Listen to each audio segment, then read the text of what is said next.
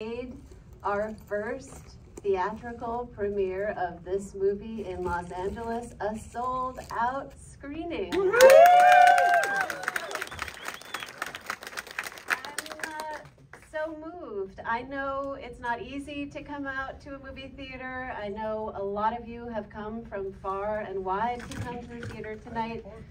We have been traveling nonstop with this movie. Somehow we've just been in the last five weeks in Washington, D.C., Poland, France, New York City, and uh, Oslo Freedom Forum, Italian premiere, and here. Um, it's incredible to feel the excitement of audiences learning Taiwan's story, whether for the first time or in a new way or in a deeper way. We, we truly committed, it's a labor of love uh, to have followed Taiwan's first female president for her two terms.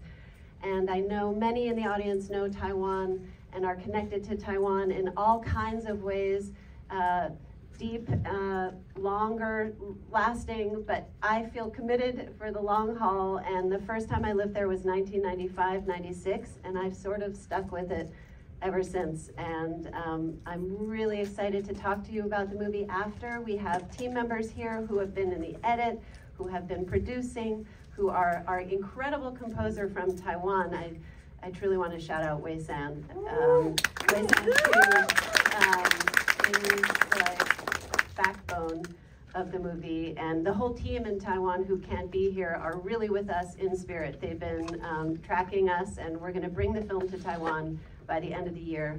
But um, for now, you are our LA premiere, and it's really exciting. LA, wait to talk to you about it afterwards. Thank you. Thank you so much for coming. It really, really means a lot. Okay, enjoy. Thank you.